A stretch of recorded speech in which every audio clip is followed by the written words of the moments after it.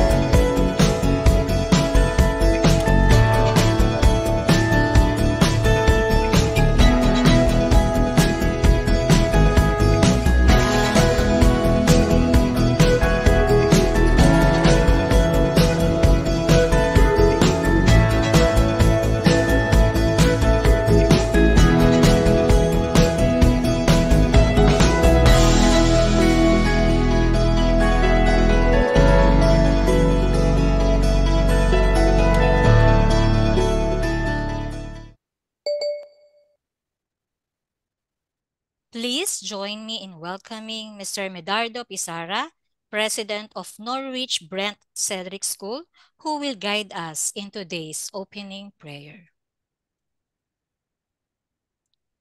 Magandang hapon po sa inyong lahat. Let us pray. Almighty God, we come to your presence today. Please accept our praise.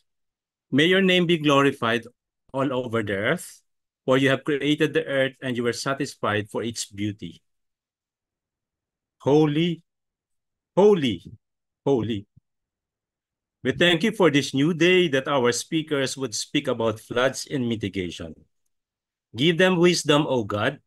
We thank you for our health, sustained from the right food that you give each day. We thank you for the wisdom of our organization, especially the leadership, for having chosen this timely topic. We request you, O God, to have mercy on us, sinners, and forgive us our sinfulness, such as the sin of selfishness and greed and the sin of not doing anything to stop the works of the devil. Speak to us, O Lord, so we can learn the lessons from Noah's Ark, such as that we must plan part of which is this afternoon's event, that it wasn't raining when Noah built the ark, that we must stay fit, that despite of our age, some of us have reached retirement age, we can still do something big for the future of our children. That we must not listen to critics, but do what must be done. That we must build on high ground. That for safety's sake, we must travel in pairs. That two heads are better than one, especially when we decide on things. That speed isn't always an advantage. The cheetahs were on board. And same with the snails. That if we cannot fight or flee, let us float. That we need to take care of our animals as if they were the last ones on the earth. That we should not forget that we're all in the same boat. This climate change is affecting everyone, everything. That when wastes get really deep, we must not just sit and complain, but rather take the shovel and act. That during the storm, we must stay below the deck. That we need to remember that the ark was built by amateurs and the Titanic was built by professionals. That you must, that if we must start over, have a friend by our side, that if we must fight the woodpeckers inside of us, which are often bigger threat than the storm outside, that we should act fast if we do not want to miss the boat, that no matter how bleak it looks, there's always rainbow on the other side and we must stop what we are doing bad and do what you say, oh God. In the name of Jesus, let us say, Amen. Ay.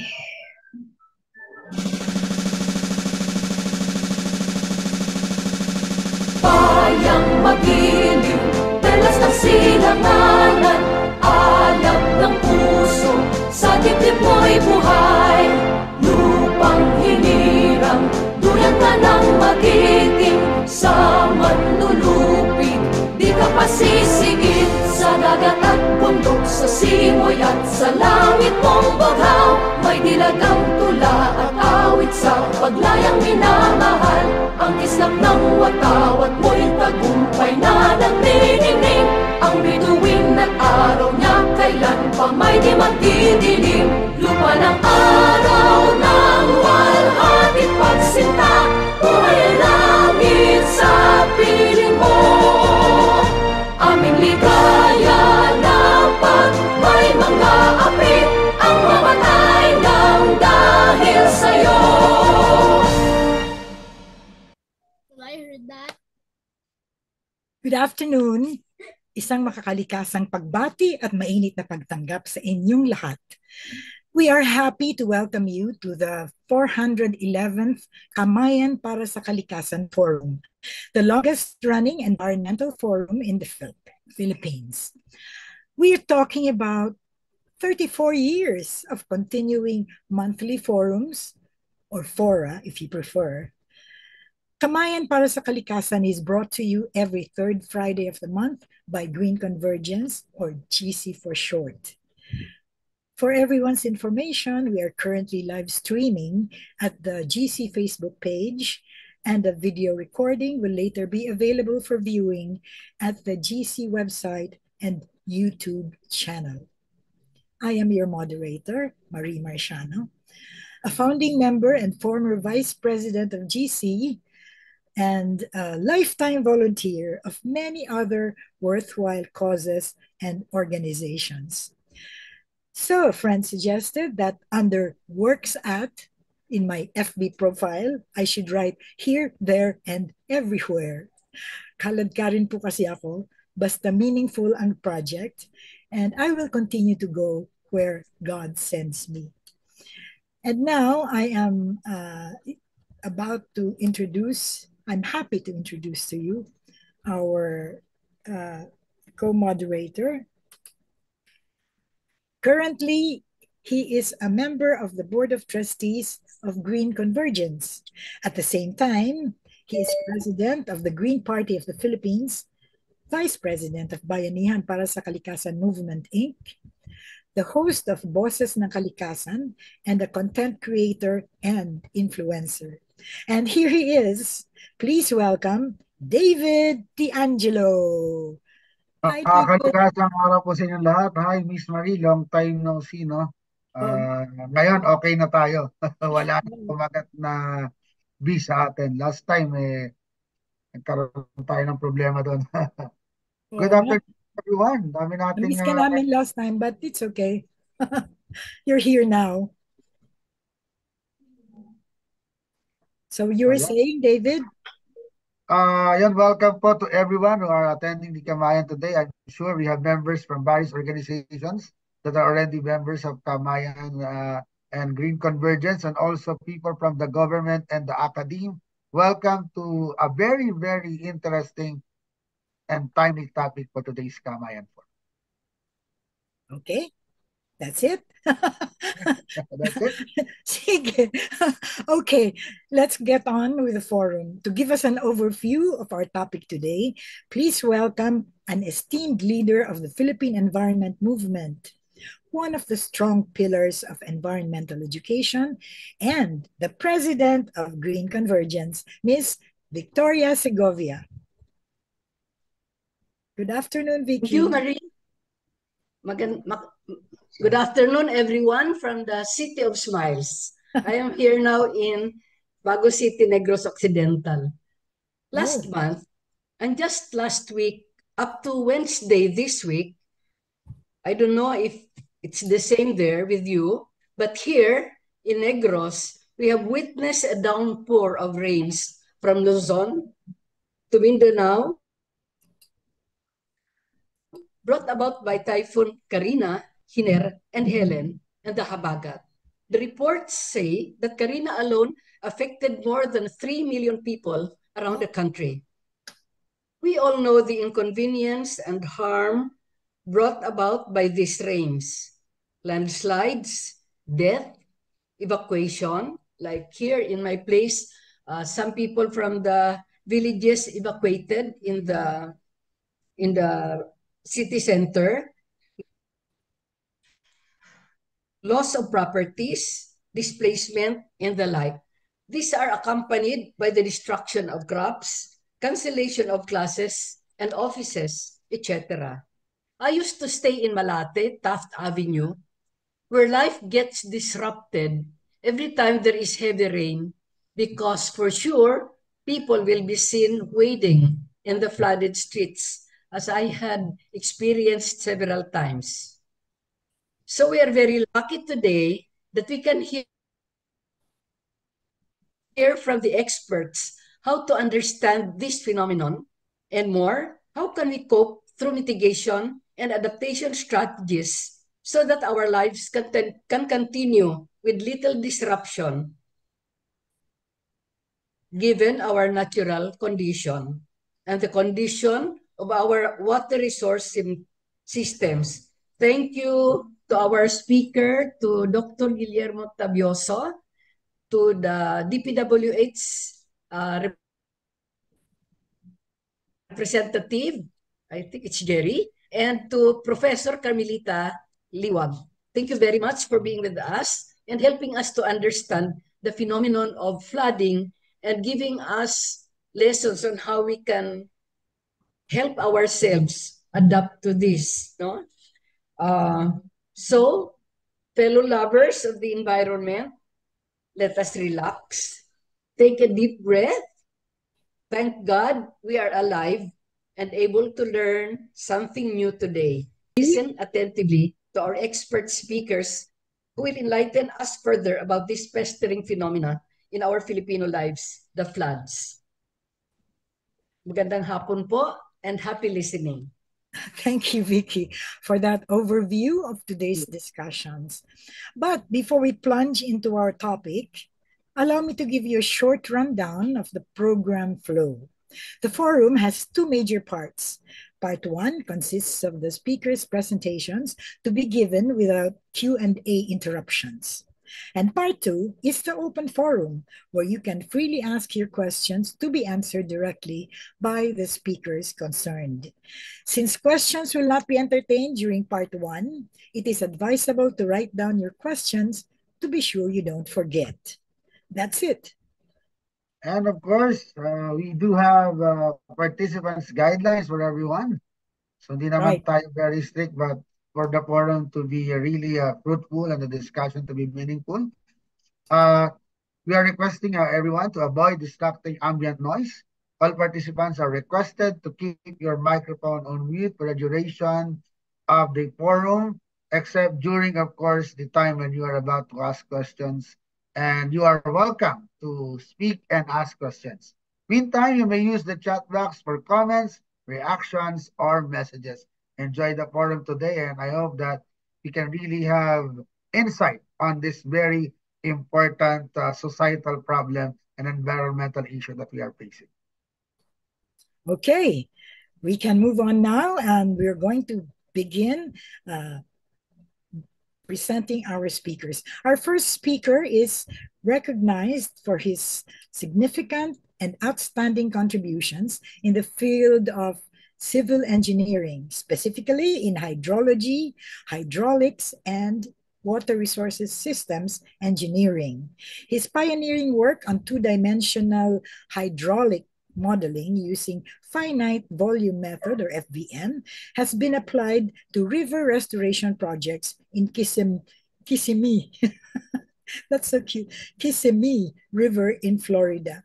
Moreover, his optimization simulation model studies include optimal water allocation of competing water uses of the multi-purpose Angat Reservoir hydropower optimization studies of the Ambuclao, Binga, and San Roque reservoirs in Agno River, project sequencing and staging alternative reservoir system configurations in the Kaliwa Kanan Agos River Basin to aug augment Metro Manila's water supply.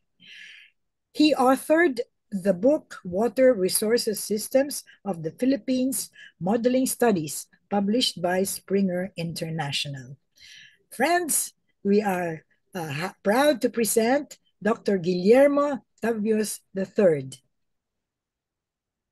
Thank you very much, uh, Miss Marie.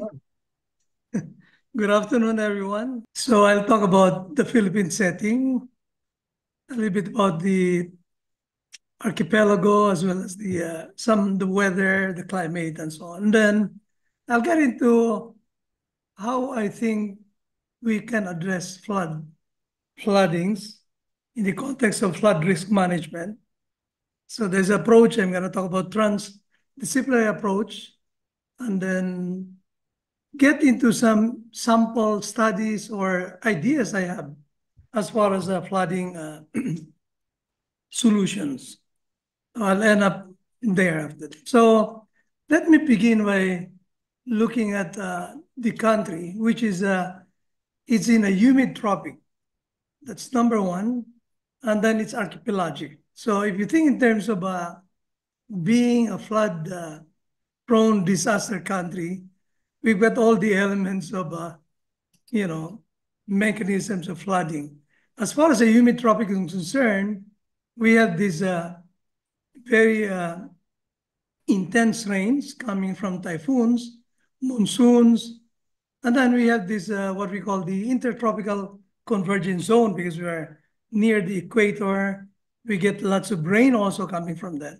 And then, of course, we have these uh, extreme temperatures or hot temperatures in summer, so we get thunderstorms. So they result in really large floods. And then once you get a lot of rain, gets into your rivers or your floodplains, the land, which is the medium of your water flow, we've got steep uh, slopes. Because being archipelagic, we have this uh, 600 meter high uh, Sierra Madre, for example, and in a matter of uh, 20, 30 kilometers, we get we, it's already the coastal coastal area. So that's quite steep slope as far as uh, uh, rivers are concerned and uh, hydrologic uh, floodway, uh, floodways are concerned. So in addition to that, we, we, we, we have to think that because of this large uh, rainfall and then we have steep slopes, we are really prone to soil erosion. So we have a lot of these sediments coming from the mountains, the watersheds, get into the rivers. It then shallows the river. It shouldn't swallow the river. It should shallow the river as far as, that. and eventually depositing to the coast. So, for example, if you look at the, as far as the rainfall mechanisms are concerned, we have this typhoon, like for example, Ondoy, we have a fast moving storm that occurred essentially passed through Metro Manila in one day. In fact, just like maybe six hours. So this is the typhoon uh, path during the time. It entered uh, somewhere in Infanta, maybe uh, seven or six in the morning, and then went through Sierra Madre, Metro Manila was uh, hit around 8 or 9. 2 o'clock, it's already gone. It's a fast-moving storm, but very intense. Now, the other uh, rain mechanism that's even more devastating, we have this uh, Habagat. If you look at the Habagat uh, case, it's associated to the Carina. But if you look at the Carina uh, typhoon path, it's really far away from Metro Manila, for example.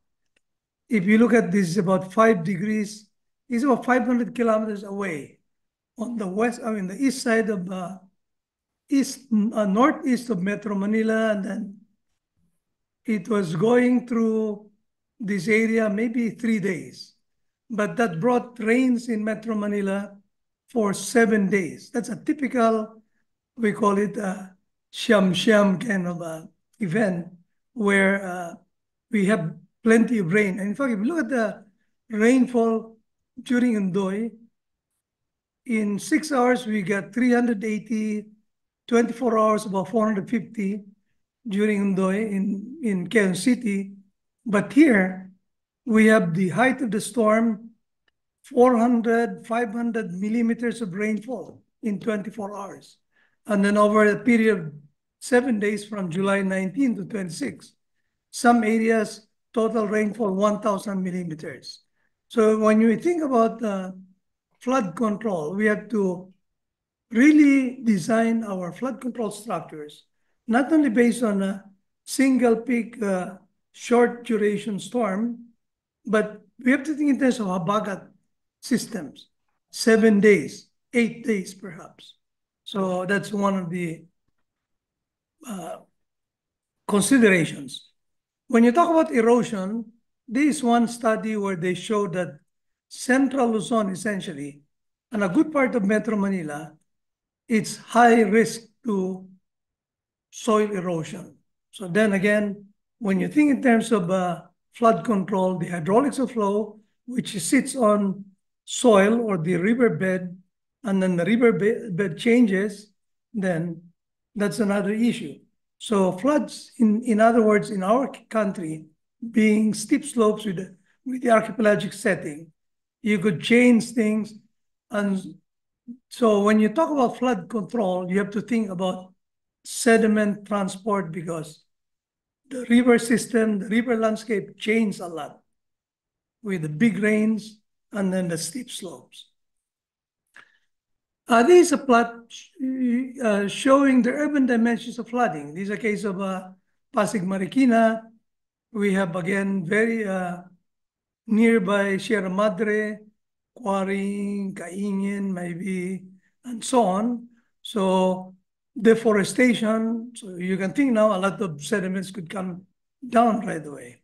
You have, of course, garbage. You have these uh, informal settlements in uh, near Laguna Lake, within Laguna Lake, and then even in our Mangahan floodway. So those are things that we have to deal with when in an urban setting. And that's where we really get uh, flood disasters because there's plenty of people. We have vulnerability and exposure factors.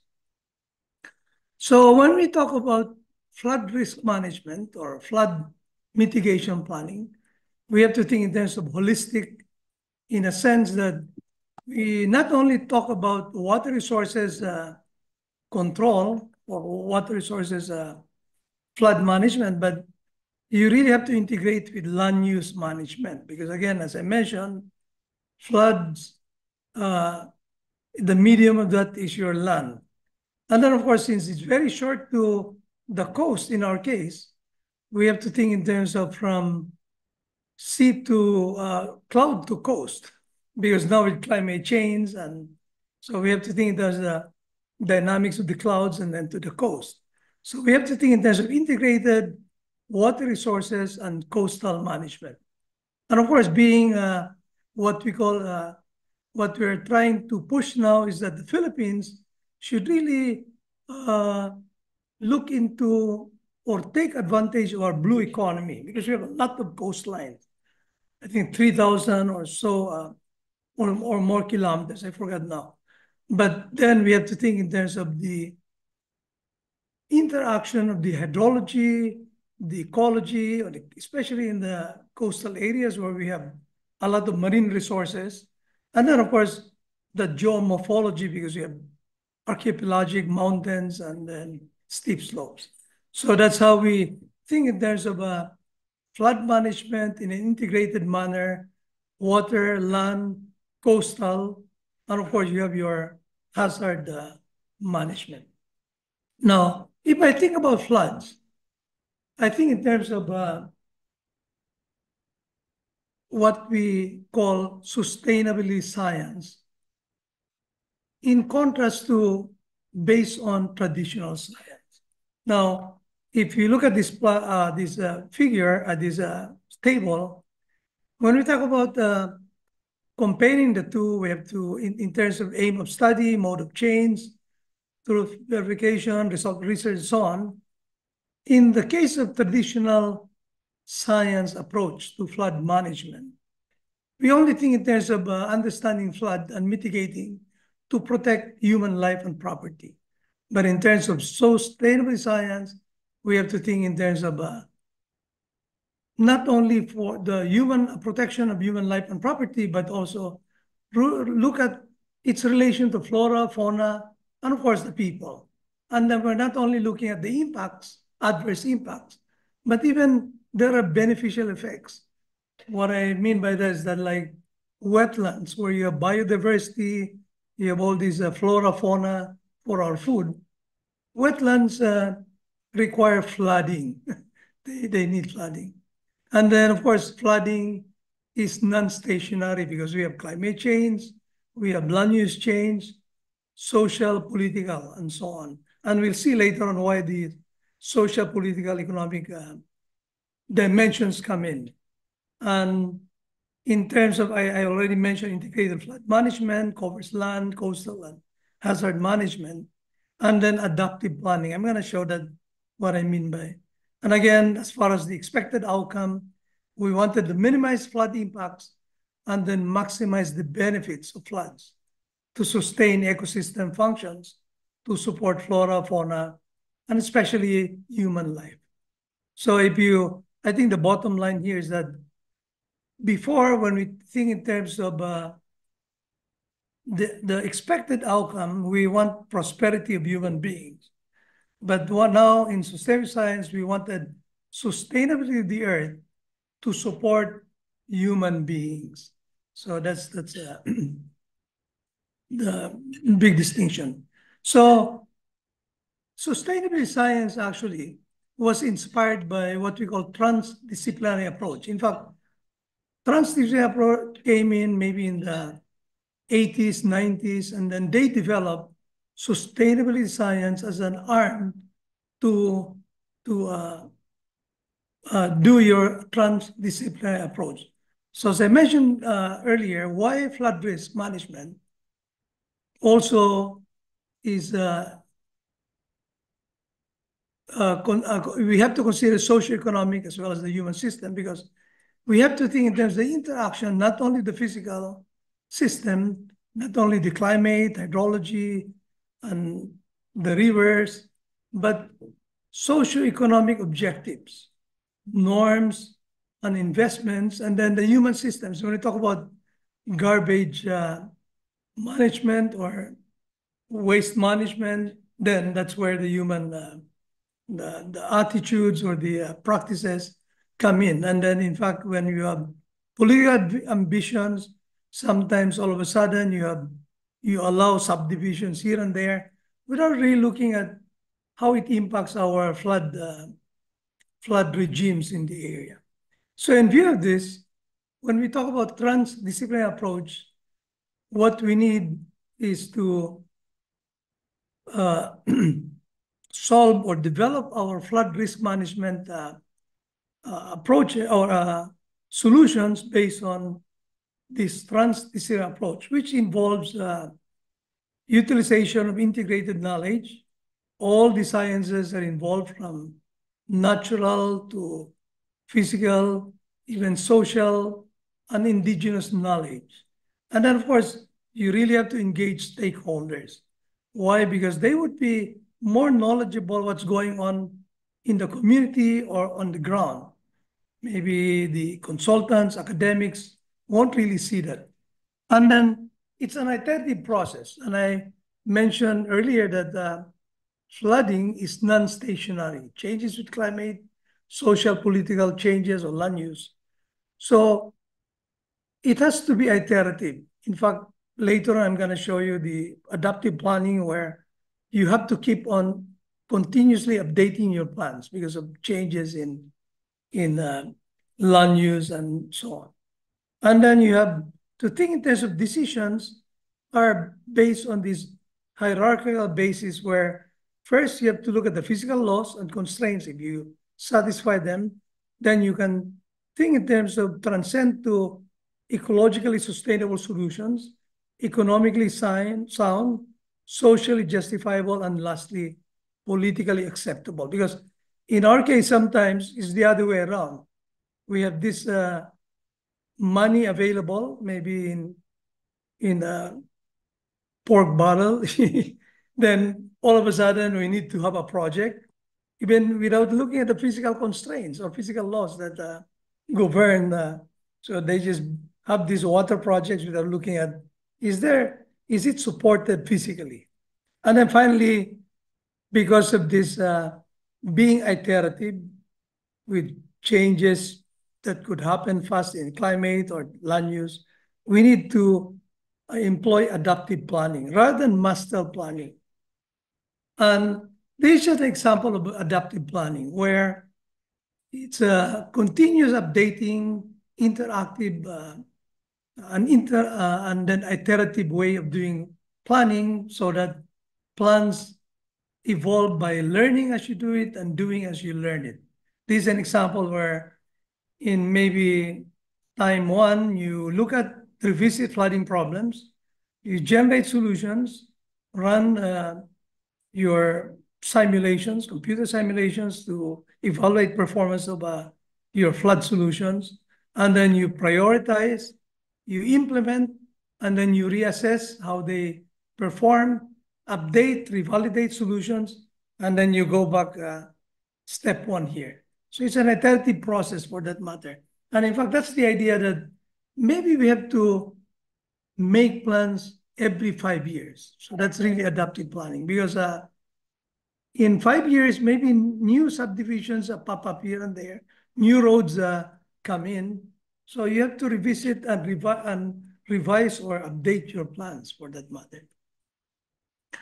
Another consideration when we talk about flood mitigation planning is uh, is first of all instead uh, instead of going right away to engineered or structural uh, approach or uh, measures, perhaps you can restore.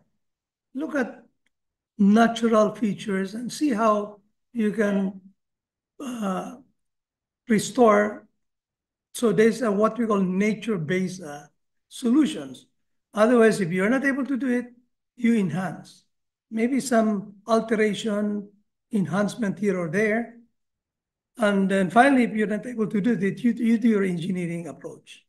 And in fact, that's what we now call uh, perhaps uh, hybrid approaches to flood, uh, flood uh, planning. We have, in the case of uh, flood control and coastal resilience, you could uh, purely do engineering approach. That's hard gray, skillfully designed flood schemes using walls, embankments, and so on. On the other hand, you can have natural, uh, nature-based solutions, but perhaps it's more feasible to have hybrid uh, combination of hard engineering as well as uh, ecosystem-based uh, approaches.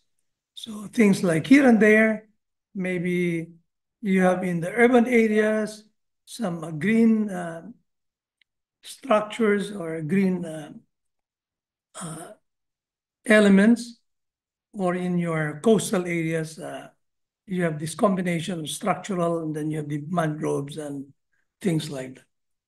Now, I'd like to present uh, some studies that I've done or projects that I've done and then some ideas as far as uh, how how flooding uh, flood uh, solutions can be developed. This one case in uh, West Manggahan Road Dike. That's uh, somewhere here in uh, the west uh, side of the Manggahan floodway in uh, Pasig, Taytay, Tagiga area. So that's uh, somewhere here.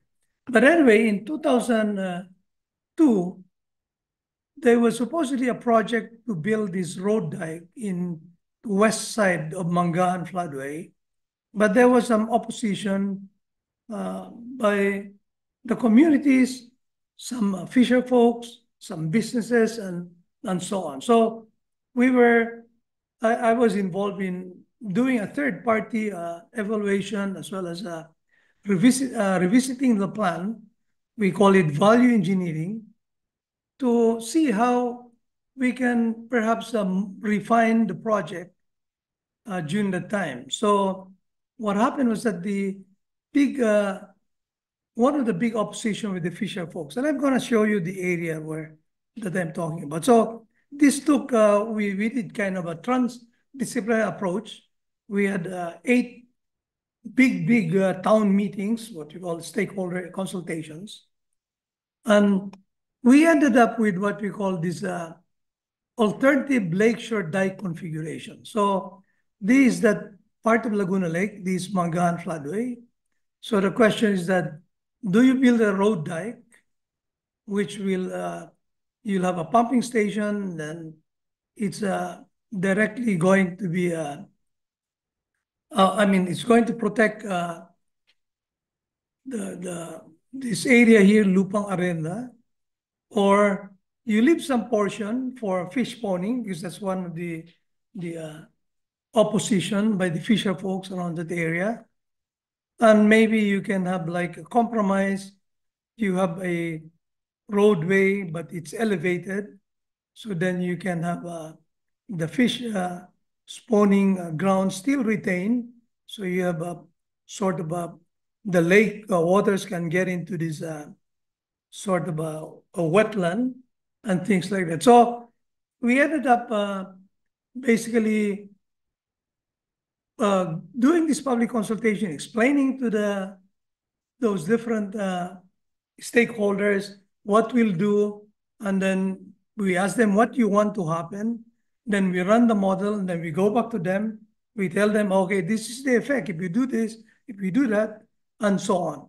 So from so many configurations, we ended up with six of them, and then on this basis, we did a full uh, analysis of what's the, how many families are uh, affected, what will be the economic uh, benefit, the environmental impact, and so on.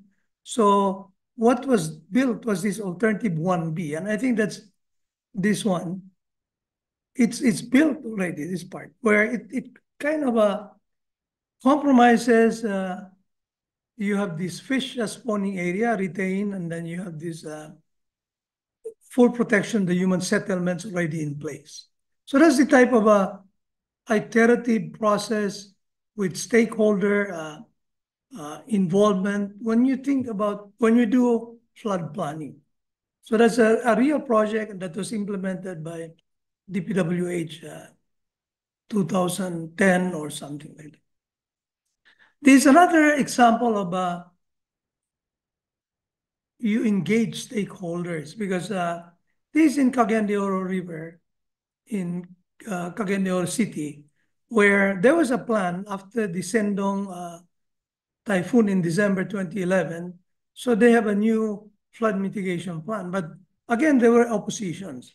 There was only one particular plunge in the time. It was this case uh, 3A, this one. So there were so many opposition. Some of them, oh, we the dike uh, alignment, the flood wall, the retention, uh, the uh, the retarding basin should be located here or there. We either we are inside the dike or outside. That means we are in the river side as opposed to we are in the land side.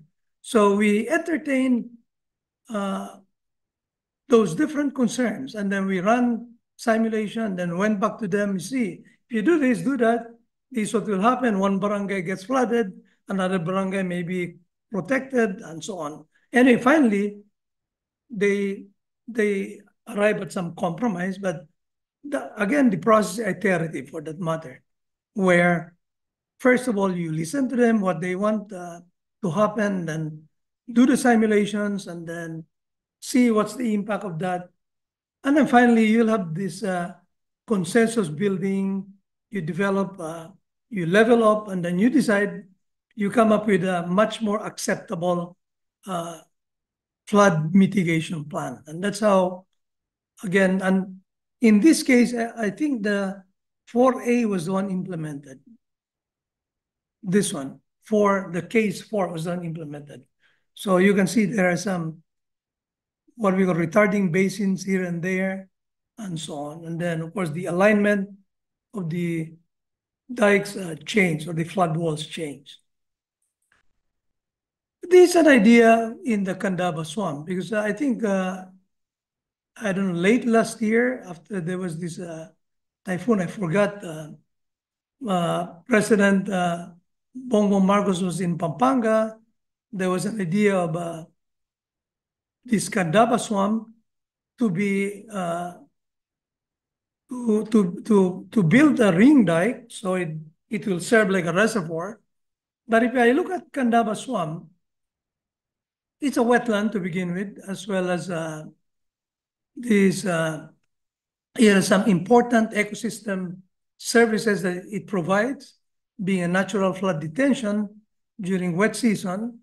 And then it's got this, uh, what we call wetland ecological function, where there is this, as a wetland, there is this uh, frequency that is historically uh, maintained so much uh, area is flooded so much time of the year or things like that. So, and in fact, there is this study where you have key preservation areas as far as uh, these uh, migratory birds and, you know, the flora fauna where it uh, supports this uh, even, I mean, attracts migratory birds uh, in that area. So anyway, I think about uh, those flood dynamics. We have to think in terms of this historical wetland dynamics where so much area is flooded so much percent of the time. So if you wanted to modify that, then it will uh, perhaps uh, change the wetland dynamics to support flora and fauna. And there are studies that what does it take that you have to have so much uh, area wet and so much uh, wet, uh, so much time of the year to support those uh, those uh, flora, then the migratory birds come in. So you can even look at some historical images where these are the preservation areas, they are flooded every now and then. So instead of diking the entire area, perhaps the idea here is to create a network of lakes. So a network of lakes where anyway, every now and then they become flooded, so many weeks uh, a, a year. So why don't we just connect them so they can become, you know, a wetland as well as they still serve as a wetland and they can be even uh, uh, used for water supply storage, for irrigation and so on. So that's the, so, so if you have this low-lying area here or there, to take advantage that water comes in here, it doesn't overflow, you connect these two. You connect that so that they will just balance off and then contain the flood waters instead of flooding downstream that will eventually get into your Santa Rita, San Simon area. So basically it's similar to this scheme where they connected all these small lakes so they will balance all these flood waters to be able to contain much better instead of going to again San Simon, Santa Rita, and then even parts of uh, flooding your North uh, Expressway. Okay, this is another scheme. I mean, this is another idea where I've been proposing where the the flood scheme of the Pasig Marikina River Basin in the 80s was that instead of this water from Marikina Basin, which is the largest basin in, in, in Metro Manila, gets to Pasig River, it will be diverted through Mangan floodway. This Mangan floodway, as you know, is a man-made floodway to divert this uh, Marikina waters, temporary store in Laguna Lake, and eventually get out of uh, Laguna Lake after the big storm through Napindan or through this Parañaque spillway. But this was never built. So the idea now is that they wanted to revive this idea of putting up a spillway, but the spillway now will not be an open channel, but it will be a tunnel There's a drop here, 30 meters, and then a tunnel, go to the other side, and you pump it out to Manila Bay. But of course, uh, that could be an expensive project because you, you have to pump it out. Pumping cost may be exorbitant depending on how much and so on.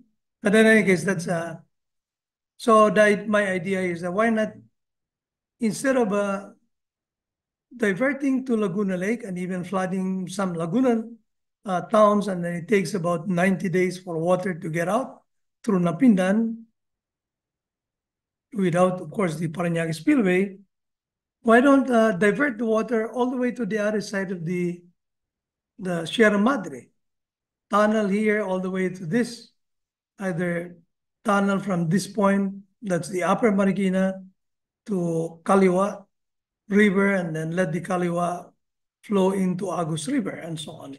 So that this can be an idea, which was done in uh, in Iloilo. Actually, we have done similar scheme where this uh, Jaro River, instead of going to the city, this area here, they have this uh, floodway. So it goes directly to the sea.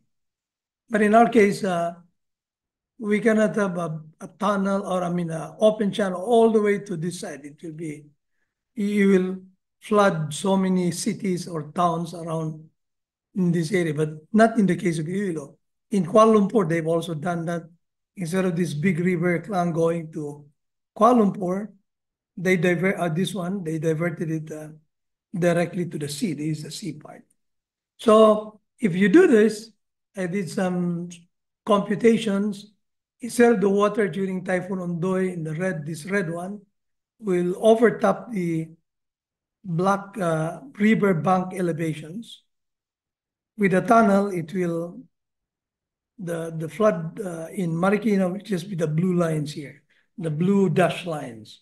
So that's what you gain. Uh, this is just if you're looking from Marikina towards Manila, this is uh, what you see on the left side, and this is what you see on the right hand side. So you can imagine that we are around Marikina City, the left-hand side of Marikina River will be SM Mall, the right-hand side will be your Provident Village.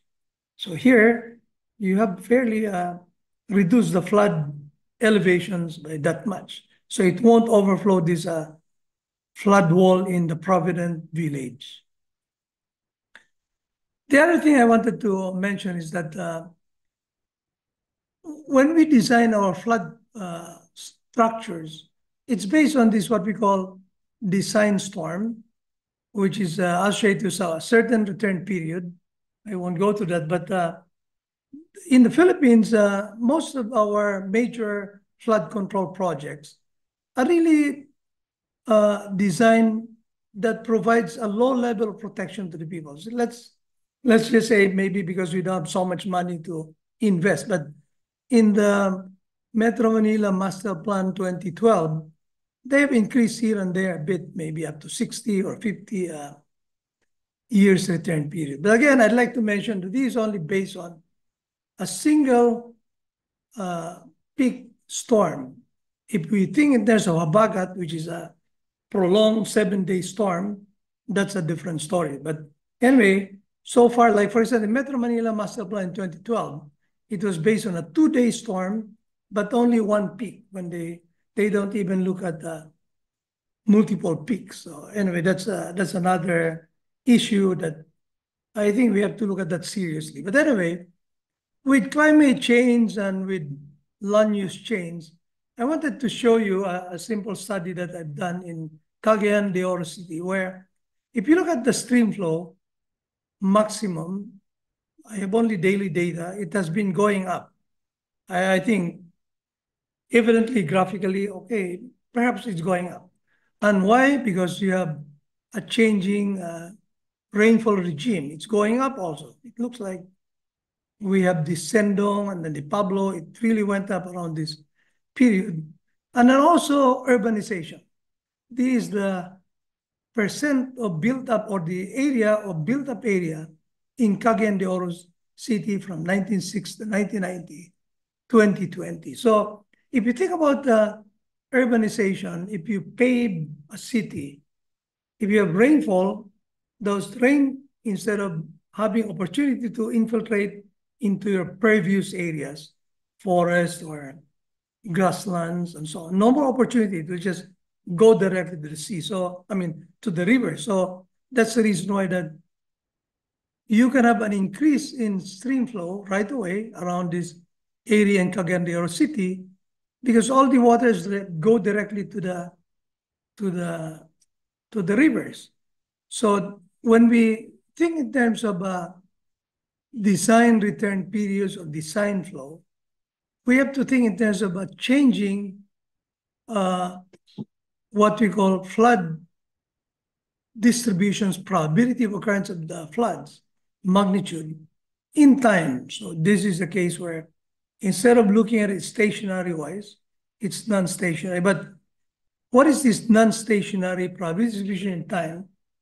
It's a function of the changing rainfall and the changing land use. And if you do that, you can then analyze that. If you look at this, uh, what we call the asymptotic uh, non-stationary return periods, if you base it on stationary analysis, in, in Cagayan de Oro, uh, the stream flow, the 80-year, uh, the Sendong was actually about 80 years uh, return period. Asymptotically in the future, it will only be equivalent to 15-year return period. That really means that an 80-year 1 over 80 may be about 3% uh, risk. But if you think there's about 15, that's almost uh, 70%, 70% risk of flooding every time you have a storm.